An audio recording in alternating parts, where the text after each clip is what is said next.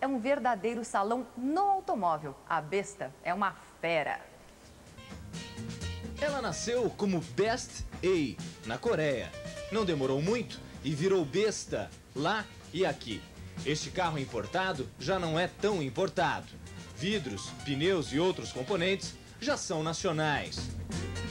Eu encosto a mão, apoio, torço a maçaneta, ele abre facilmente, tanto com a direita quanto com a mão esquerda. Tenho embaixo de uma porta as minhas ferramentas, triângulo de segurança e é nessa outra portinhola o macaco hidráulico. Eu aciono todo o assento para frente e posso também virar todo o encosto e ajustar a altura do encosto por essa outra alavanca.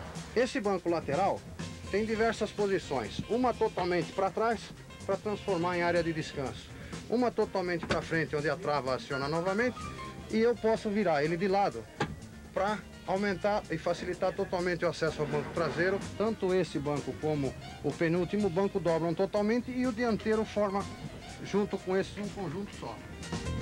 É o, o espelho convexo na janela traseira, que visto pelo espelho retrovisor dianteiro, permite que o motorista veja, mesmo uma distância de até aproximadamente 3 metros do para-choque para manobras em lugares apertados. Nós vamos ter um espaço de bagagem que é conseguido através do dobramento do último banco. Eu tenho possibilidade de transportar nove passageiros acomodados perfeitamente e mais as malas desses nove passageiros com bastante espaço. Afinal, onde é que está o motor do carro? Solto uma pequena trava e consigo levantar o banco todinho e mostrar para vocês o motor.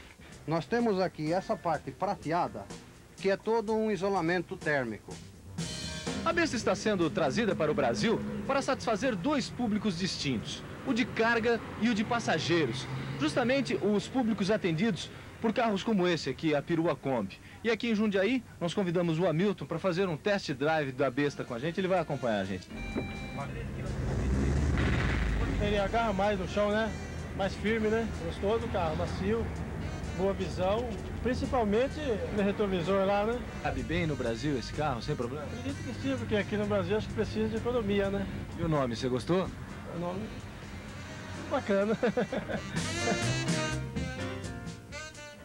É, a besta custa 730 milhões de cruzeiros, o que dá para comprar duas Kombi zerinho.